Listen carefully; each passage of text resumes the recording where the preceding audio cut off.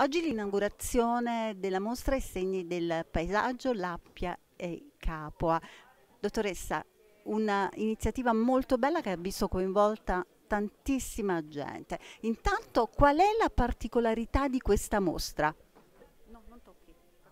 Beh, la particolarità di questa mostra posso dire un po' tutta. Il pezzo forte è sicuramente Staglia, la tomba di Staglia che è stata ricostruita, finalmente restituita alla comunità dopo 15 anni, quindi è un'emozione una commozione straordinaria poter attraversare in questa monumentale tomba, rivedere gli oggetti che sono stati ritrovati nello stesso posto, su quel tavolino e, e ammirare l'affresco della tomba di Staglia che viene accolta direttamente da Dite, da Ade, da Plutone, come lo vogliamo chiamare, il re e la divinità degli inferi.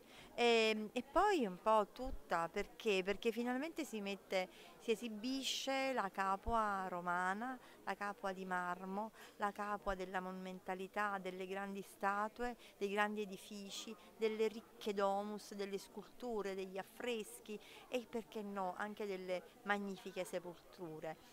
Pro, diciamo, questo progetto si espande nel territorio, quindi coinvolge anche altri musei del territorio e non solo, l'Appia stessa, la città che si può percorrere all'interno degli spazi museali. E perché no, quando si va fuori si può ricordare la, la costruzione dei monumenti antichi attraversando Piazza San Francesco, eh, cercando di, di ricordare dove era il Capitolium, dove era il teatro dove era il criptoportico e per fortuna rivisitare, visitare sempre l'anfiteatro campano che, che era lambito dalla Via Appia.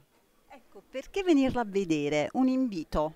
Perché venirla a vedere? Perché rappresenta finalmente un'occasione straordinaria di vedere oggetti eh, che erano stati conservati nei musei per decenni, alcuni oltre di 50 anni, ci sono alcuni rinvenimenti che sono addirittura dell'Ottocento e che perché venirla a vedere? Perché questa mostra ricompone un progetto iniziato nel 1995, conclusosi con eh, la decima sala eh, con il fondo Patturelli, quindi il percorso museale terminava prima della nascita straordinaria della Capua romana, della Capua imperiale, dell'Altera Roma, quella che noi e tutti eh, i, i, poeti, gli scrittori, gli storici romani ricordano come la seconda città più importante dell'impero.